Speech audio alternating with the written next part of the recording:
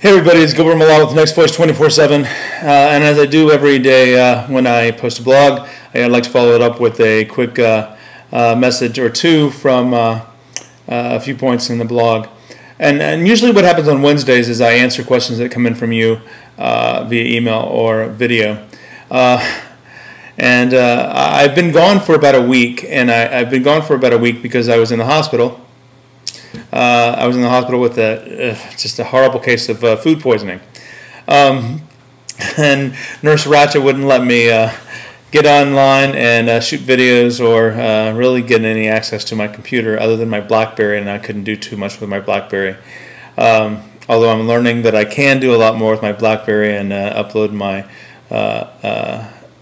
video and or actually my my blog post to my video, but um, rather than answer the questions that came in um, this week, I wanted to be a little self indulgent and answer my own question. Um, and that question is what is an icon? And there's two things that I want to talk about real quickly today.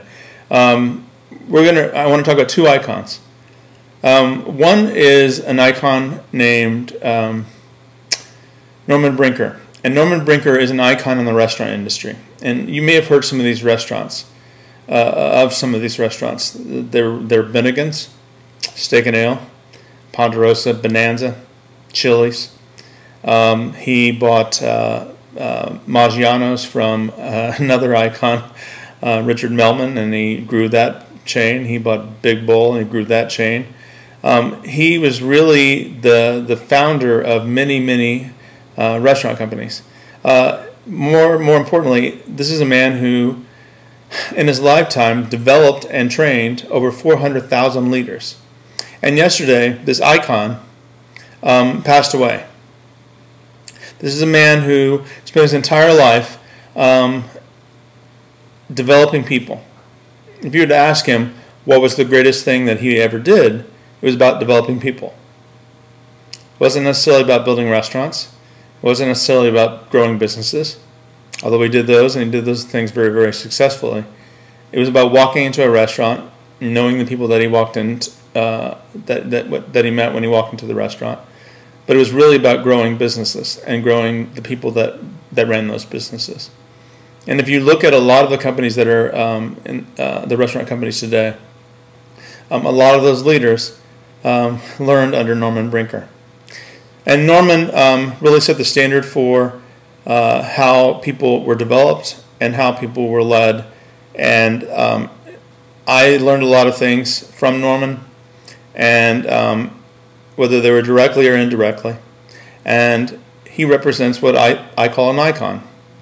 He represents um, the things that stand for um, a true leader. He represents the, the things that represent um, consistency, and um, I think that there's an honesty there, and there's really not going to be anyone like him ever um, in that in that industry. He really set the standard, and they set the standard very high. Ironically, tonight, um, Next Voice 24 7, um, and the next voice you hear presents another icon, and that icon is Stephen R. Covey. And here's what's so strange about that.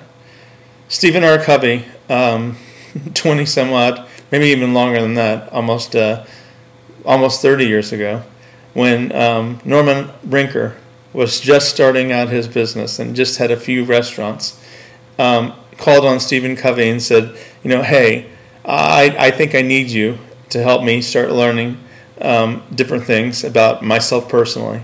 But I really think that I need you to come help me develop people because I think that you can teach my people something, and I think that together we can build something really, really great. And so tonight, here we have a chance to talk to another icon, one of the 25 most influential people in, in America. Another icon at a time when one icon goes away.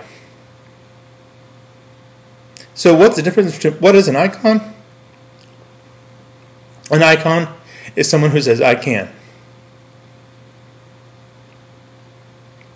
Stephen Covey said, I can, and he did 20 something years ago. He took a chance on a guy because he saw potential. Took a chance on a company because he saw potential. And that's what leaders do. That's what icons do. And do you want to be an icon? It doesn't mean you have to run big companies. It doesn't mean you have to run big departments. It doesn't mean you have to turn your little business into something grandiose and and and and and, and make it public. It just means you have to be able to say I can. So tonight, I hope that you join us for um, Next Voice Presents 24 7. Um, and you get to listen to Stephen Covey and Kevin Hall talk about their experiences. And I hope that you'll be able to um, learn a little bit more about Norman Brinker.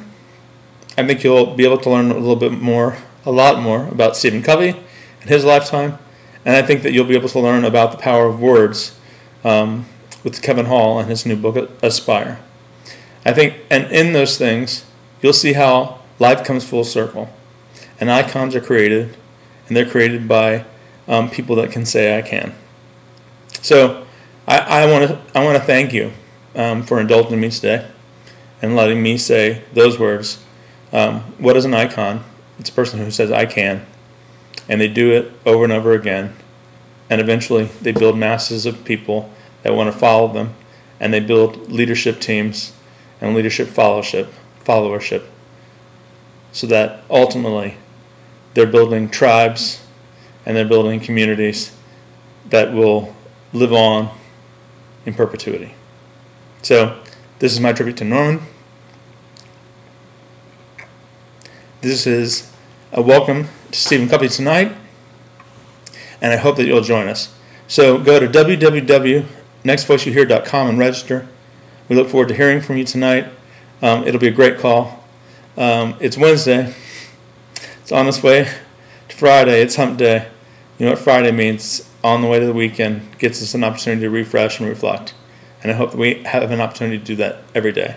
So all of you that um, sent well wishes to me, I'm ever so grateful.